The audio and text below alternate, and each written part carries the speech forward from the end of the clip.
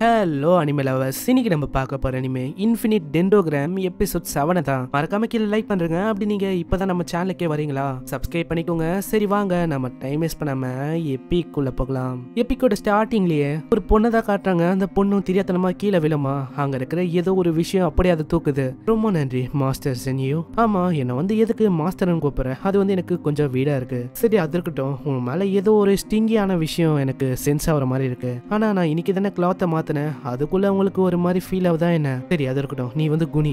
குனிஞ்ச அத்த செகண்ட் திடீர்னு ஒரு புல்லட்டையும் அது எடுத்து கொடுக்குது. அது அப்படியே துண்டாயிடுது. இந்த சைடு வேற ஒரு கும்பலை காட்டுறாங்க. இவங்க தான் அந்த விஷயத்தையே பண்ணிருக்காங்க அட நான் அந்த புல்லட்டை அவன் மேல ஃபயர் பண்ணதுக்கு மிஸ் பண்ணிட்டேன். நீ மிஸ் பண்ணல. அவங்க டிடெக்ட் பண்ணிட்டாங்க. வேற ஒன்றும் இல்லை. இவங்க எல்லாருமே ஒரு சுப்பீரியரான ஜாபுக்கு தான் வந்திருக்காங்க. அதாவது அவங்கள போட்டு தள்ளணும்னு. ஆனால் அதுக்குள்ளே இன்னொத்தனும் அவனோட ஃப்ளேம் வச்சு அவங்க எல்லாருமே போட்டு தள்ளிடலாம் அப்படின்னு பாப்பானா? அவங்களுக்கு அப்படியே சென்ஸ் ஆயிடுது. ஓ இது எல்லாத்துக்குமே நீ தான் காரணமா? நான் உன்னை அப்படியே போட்டு தள்ளுறதுக்கு ரொம்ப ஆர்வமா இருக்கேன். அவனோட ஃபிளேமை யூஸ் பண்ணலான்னு போவான். திடீர்னு என்ன ஆச்சு தெரியல. அவனுக்கு பயங்கரமா ரத்தமா ஊத்துது. இந்த சைடு அதோட கையில அவனோட ஹார்ட் இருக்கா ஆளு அப்படியே இறந்து போயிடறான். இதையும் அந்த பொண்ணு ஸ்கோப் வச்சு பார்த்துன்னு இருக்கும். திடீர்னு அவங்க பின்னாடி வந்து அவங்க எல்லாரையுமே போட்டு தள்ளுது. நீங்களா? நான் எதிர்பார்த்த அளவுக்கு ஒன்றும் ஸ்ட்ராங்கா இல்ல. இந்த அளவுக்கு தான் இருப்பாங்களா? இந்த கிங்டமோட சுப்பீரியர்ஸ்லாம் இதுக்கப்புறம் வேற ஒரு சீனை காட்டுறாங்க. அவன் அவனோட எபிலிட்டியை பார்த்துன்னு இருக்கான். அவன் எப்படி சொல்ல? ஒரு பெரிய மாஸ்டரை தோக்கச்சிருப்பான்ல அதனால இவனுக்கு கிரட்ச் அப்படின்னு ஒரு எபிலிட்டி கிடைச்சிருக்கும். அதுல ஹெச்பியை எஸ்பியா மாத்த முடியும். அதாவது ஒரு லிவிங் பொருளே இல்லாத ஒரு பொருளை உயிரோட மாற்ற முடியும். ஆமா இது வந்து ஹேண்டியா இருக்குல்ல. ஆனா நான் என்ன யோசனை அது ரெண்டுத்தையும் கம்பைன் பண்ணா நம்மளால ஏர்ல பறக்க முடியும் அப்படின்லாம் யோசிச்சேன். நீ சொல்றது எல்லாமே கரெக்ட் தான். இருந்தாலும் இதை வந்து டவுன்ல எல்லாம் பயன்படுத்த முடியாது. ஆனா இதை யூஸ் பண்ணும்போது ஒரு மாதிரி சேராயிடுது. சரி ஏதோ ஒண்ணு நீ எப்பதான் குளிச்சு முடிப்ப நானும் குளிக்கணும்ல. நீங்க என்ன சொல்ல வரீங்க? ஒரு பொண்ணை நிம்மதியா குளிக்க விடுங்க. நீங்க நிம்மதியை கெடுக்க பாத்தீங்கன்னா உங்களோட வாழ்க்கை நல்லா இருக்காது. புதிதா ஏதோ ஒண்ணு நீ சீக்கிரமா குளிச்சா நம்ம மீட்டிங்க்கு போலாம். அதுக்கப்புறம் அவங்க மீட்டிங் வராங்க. மீட்டிங்ல அவ சொல்றா நாங்க கூடிய சீக்கிரத்துல அந்த சுப்பீரியர் கில்லர் அவனுக்கான ரிவெஞ்ச கண்டிப்பா கொடுப்போம். ஆனா ஏதோ ஒண்ணு நான் வந்து ஒரு விஷயத்த கண்டுபிடிச்சிருக்கேன். நீங்க இன்ஃபினிட் டெண்டோகிராம்ல ரொம்ப வருஷமா இருக்கீங்க போல. ஆமா நான் ரொம்ப வருஷமா இருக்கேன். எனக்கு அதனாலே எல்லா விஷயமும் தெரியும். ஏன்னா நான் ரொம்ப வருஷமா அதுக்காக தான் இதை பிளேவே பண்ணிருக்கேன். என்னது உண்மையாவா? சரி நீ சொல்லுரு உனக்கான வீக்னஸ் அது வந்து என்ன நீ சொல்லுவ. என்னால க்ளோஸ் ரேஞ்ச் அட்டாக் கொண்டு தான் பண்ண முடியும். அப்படி லாங் ரேஞ்ச்ல இருந்து என்னால எதுவும் பண்ண முடியாது. ஏன்னா நிமிஷால வெறுமா க்ளோஸ் ரேஞ்சில் இருந்தா ஒண்டி தான் அட்டாக்கை சரியா பண்ண முடியும். அப்பனா உனக்கு வேகம்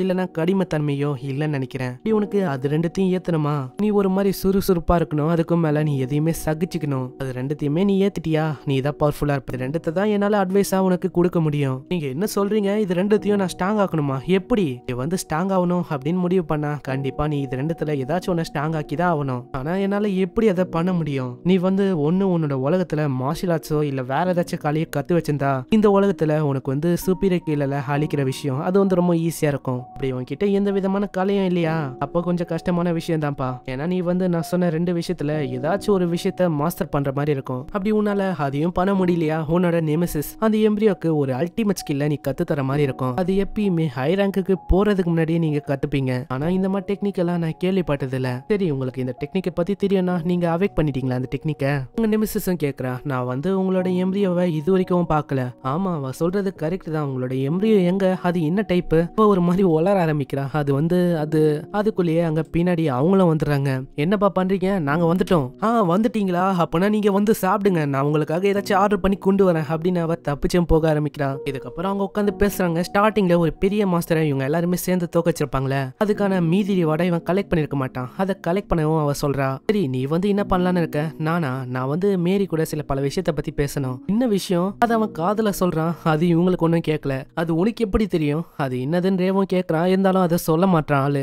இதுக்கப்புறம் அவன் கொன்ன மாஸ்டருக்காக ரிவார்டை வாங்குறதுக்கு போறானா? அங்க அவனுக்கு எட்நூறு மில்லியன் லூயர் வந்து கிடைக்குது. அட எவ்வளோ இதுவா? நான் வந்து எவ்வளோலாம் எதிர்பார்க்கலப்பா. ஹியூகோ சந்திக்கலனா எனக்கு ஒன்றும் எவ்வளோலாம் கிடைச்சிருக்காது. இதுக்கப்புறம் அவன் அந்த பேரை மீட் பண்றான். அந்த பேரு இன்னும் சின்ன பசங்க கூட அப்படியே ஜாலியாக விளான்னு இருக்கு. விளையாடி முடிச்சக்கு அப்புறம் தான் ரேவே அங்க நோட்டீஸ் பண்றான். ஆமா உன்னோட மண்டையில அது என்னது குட்டி உண்டு? அதுக்குள்ளேயே பின்னாடி கிரிஸ்ன்னு ஒரு பையன் வந்து கேட்கறான் என்னை வந்து மன்னிச்சிடுங்க. அதாவது என்னோட பிஎம் வந்து உங்களை டிஸ்டர்ப் பண்ணுதா என்ன? பிஏமா அப்புறம் தான் அவனுக்கே புரியுது அது மண்டை மேல இருக்குல்ல? அதை தான் அப்படி சொல்றான்னு. சரி என்ன மன்னிச்சிடுங்க நான் வந்து இப்போ போறேன். ஆனா போறதுக்கு முன்னாடி இந்த சாக்லேட்டை கொண்டு போலாம்ல. அங்க அதையும் வாங்கிட்டு நன்றி சொல்லிட்டு அங்கிருந்து போக ஆரம்பிக்கிறான். அங்க நிமிஷம் ஒரு மாதிரி யோசனை இருக்கா? ஆமா என்ன ஆச்சு நிமிஷஸ்? அதுவா அவங்க ரெண்டு பேரை பத்தி தான் நான் கொஞ்சம் யோசனை இருந்தேன் இதுக்கப்புறம் அவங்க ரெண்டு பேரை காட்டுறாங்க அங்க போகும்போதே அவனை சொல்றான் எனக்கு நல்லாவே தெரியும் அந்த கரடி கியூட்டா இருக்குன்னு நீ ஹக் பண்ணலாம்னு ஆசைப்பட்ட அதானே? ஆனா கூடிய சீக்கிரத்துல எல்லாமே நடக்கும். இன்னைக்கான ஃபைட்டு முடியட்டும் அதுக்கப்புறம் எல்லாமே நடக்கும். இந்த நேஷனோட சூப்பீரியர் அவருக்குள்ள நிறையவே பவர் இருக்குன்னு நினைக்கிறேன். இதுக்கப்புறம் அங்க நெமிசிஸும் சாப்பிட்றாளா? அது வந்து அவ்வளோ டேஸ்டா இருக்கு. இந்த சைடு ரேவம் கேட்கறான் ஆமா நீ வந்து இங்க எதுக்கு வந்திருக்க கிடியனுக்கு? அந்த சுப்பீரியருக்கு இங்க ஃபைட் நடக்கும். அதை பாக்குறதுக்கு தானே வந்திருக்க? அங்க ரேவும் ஒரு டிக்கெட் எடுத்து காட்டுறானா அதுவும் அவனுக்கு கிட்டியே இருக்கிற மாதிரி தான் இருக்கு.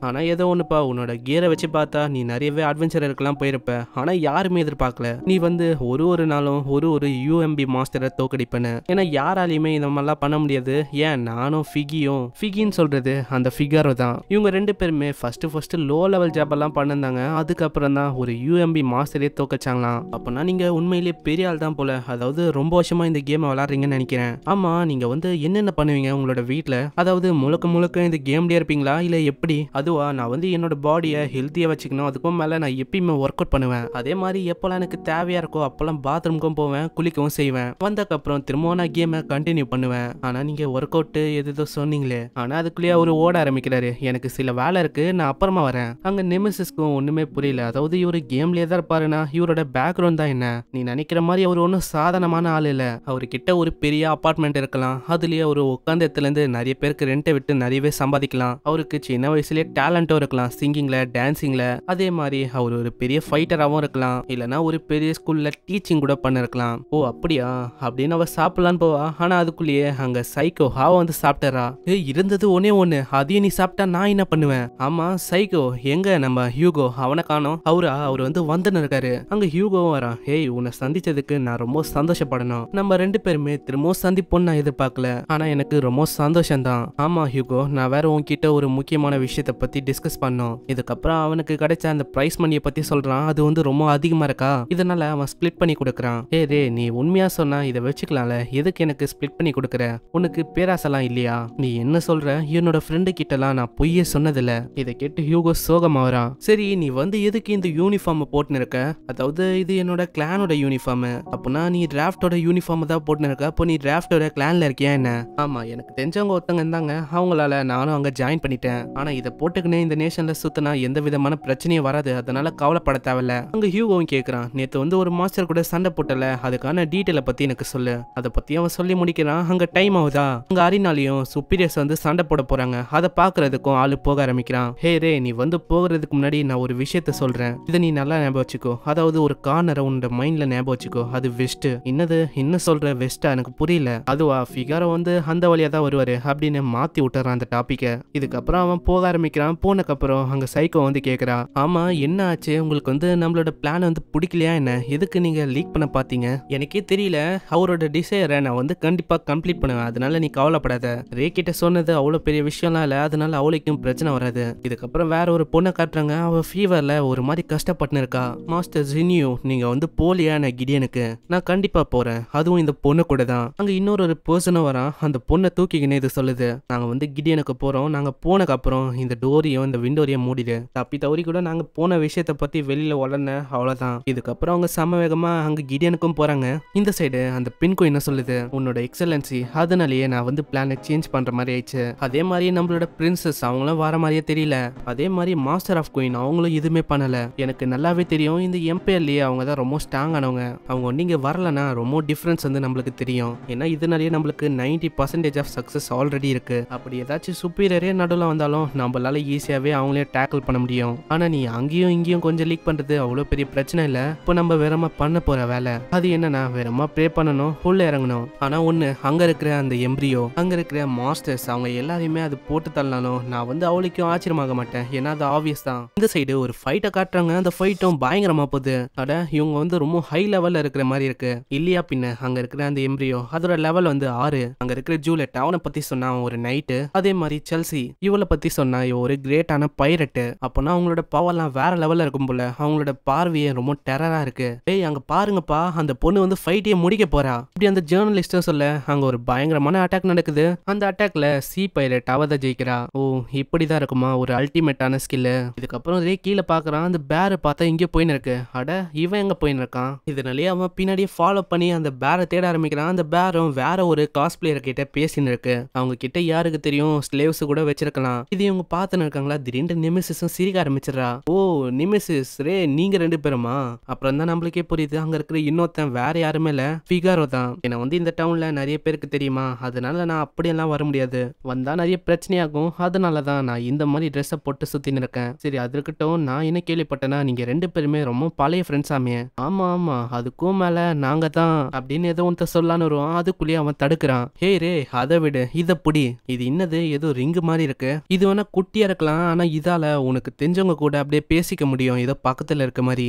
ஓ அப்படியா? அப்போனா இது நல்ல விஷயம் தான்ப்பா சரி ஏதோ ஒன்று நீங்க வேணா போங்களேன். இந்த மாதிரி நாங்கள் இன்னமும் கொஞ்ச நேரத்துக்கு பேச போறோம். ஓ அப்படியா? சரி நாங்கள் போறோம். இதுக்கப்புறம் அங்க ஃபிகாரவும் கேக்குறான். ஆமா நீ வந்து இன்னமும் அவன் கிட்ட சொல்லலையா? அதாவது நீ யாருன்னு? உனக்கு என்னப்பா? நீ எப்படியோ அங்க ஜெயிச்சிருவ. ஆனா என்ன பத்தி நான் சொன்னனா? எனக்கு ஐம்பது பர்சன்டேஜ் தான் வாய்ப்பு இருக்கு. அதாவது அங்க ஜெயிக்கிற மாதிரி. இல்ல இல்ல நீ வந்து அப்படி சொல்லக்கூடாது. எனக்கு சில பல கஷ்டம்லாம் இருக்கு. ஏன்னா நானும் ஒரு ஸ்ட்ராங்கான பர்சனை ஃபேஸ் பண்ண போறேன். அவன் பேரு ஹுவாங் சி லிங். இவனை நம்ம ஷார்ட்டா லிங்குன்னு கூப்பிடலாம். அந்த லிங்கு அவன் one of the four greatest நேஷன்ல ஒரு எம்பியரா இருக்கிற ஒரு மெம்பர் அவன். அவன் கூட சண்டை போடுறதுக்கு நான் ரொம்ப ஆவலா வெயிட் பண்றேன். இதுக்காக தான் நான் ரொம்ப ரொம்ப நாளாவே வெயிட் பண்றேன்னு சொல்லலாம். அந்த மேட்ச்ல நான் சண்டை போறத நானே பார்க்கணும்லாம் எனக்கு ரொம்ப ஆசையா இருக்கு. ஆனா அந்த விஷயத்துல தான் எல்லாமே இருக்கு. அதாவது இதுக்கு மேல எப்படி போக போகுதுன்னு. சரி பார்க்கலாம். அந்த சண்டை எப்படி போக போகுதுன்னு. ஏன்னா நான் இதுக்காக தானே இந்த இன்ஃபினிட் டென்ட்ரோகிராமையே லாகின் பண்ணி வச்சிருக்கேன். இவன் இப்படி சொல்றதோட இங்கே இந்த எபிசோட முடியுது.